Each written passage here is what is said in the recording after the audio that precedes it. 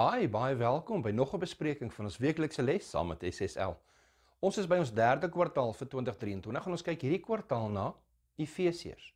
Hoe om Jesus in uitdagende tye te volg.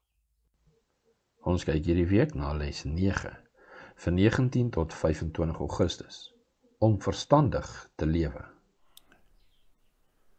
Ons gee teksvers vir hierdie week vind ons in Efesiërs 5 vers 15 tot 17. Dit lees: Pas dan op dat julle nougeset wandel, nie as onwyse nie, maar as wyse, en koop die tyd uit, omdat die dae boos is. Daarom moet julle nie onverstandig wees nie, maar verstaan wat die wil van die Here is. Efesiërs 5 vers 15 tot 17. Ek lees weer.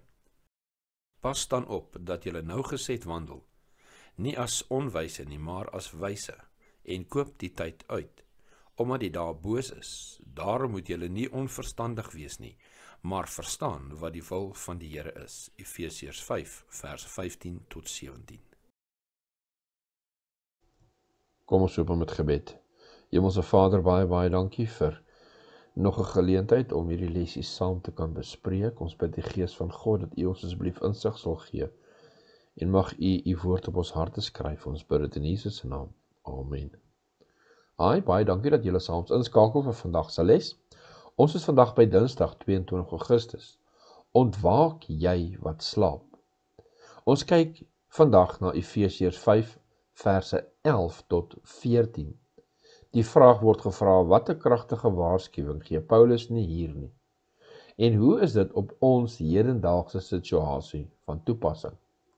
Efesiërs 5 vers 11 tot 14 lees en hou nie gemeenskap met die onvrugbare werke van die duisternis nie, maar bestraf dit liewer. Want wat in die geheim deur hulle gedoen word, is skadelik selfs om te noem. Maar al hierdie dinge wat deur die lig bestraf word, word openbaar, want alles wat openbaar word is lig. Daarom sê hy: Ontwaak, jy wat slaap, en staan op uit die dode, en Christus sal oor jou skyn. In Efesiërs 5 sien ons hoe Paulus herhaaldelik hierdie twee vermaanings gee. Eerstens leef in Godsvreesende lewe soos kinders van die lig. Efesiërs 5 vers 8, 5 vers 1, vers 2, vers 4, vers 9 tot 10, vers 11, vers 13, vers 14. Hy herhaal dit herhaaldelike kere. En dan tweedens moenie 'n onsedelike immorele leefstyl strydig met God se vereistes leef nie. 'n lewe wat die onvrugbare werke van die duisternis tentoonstel. Efesiërs 5 vers 11, 5 vers 3, vers 4, vers 5 tot 8 en vers 12. Die gelowiges word geroep om vir die ongelowiges die lig van die Here te wees. Soos ons geroep is as kinders van die lig. As ons dit doen, sal ons verkondig dat die vrug van die Gees bestaan in alle goedheid en geregtigheid en waarheid. Ons moet die goedheid van God uitbeeld. Gelowiges moet die nuttelose werke van die duisternis blootstel deur die regverdige alternatief tentoon te stel sodat almal dit kan sien. Hierdie vrug van die Gees of soos dit in Engels sê, fruit of the light om die lig van God te wees. Kan die wêreldlinge tot die geloof in Christus oortuig.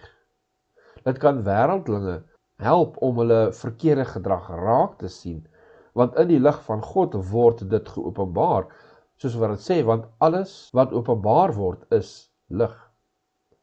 Kom ons kyk weer na die laaste vers van vandag, die vers 14. Dit sê: Daarom sê hy: Ontwaak, jy wat slaap, en staan op uit die dode, en Christus sal oor jou skyn.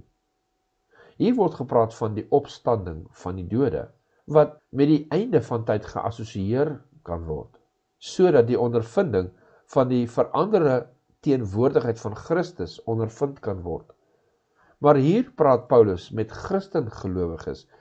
So hierdie is 'n wekroep om hulle rol as sendelinge in te sien wat die lig van Christus in 'n duistere wêreld versprei.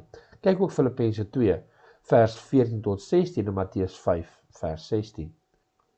Ons vraag aan die einde van die dag: Hoe kan jy die tipe leefstyl leef wat die werke van die duisternis soos wat dit werklik lyk openbaar. Ek lees weer die vraag. Hoe kan jy die tipe leefstyl leef wat die werke van die duisternis soos wat dit werklik lyk openbaar? Ons word geroep om nie in die lig van God te wandel nie, maar om die lig van God te wees.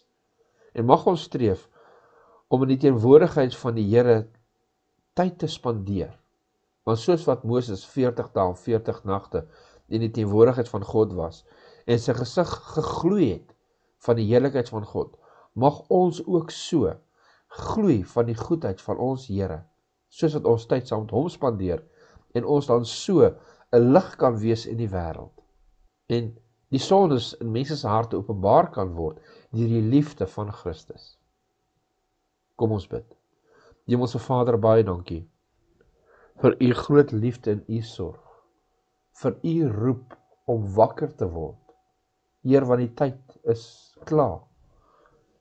Hemelse Vader, ons ons moet binnekort huis toe gaan.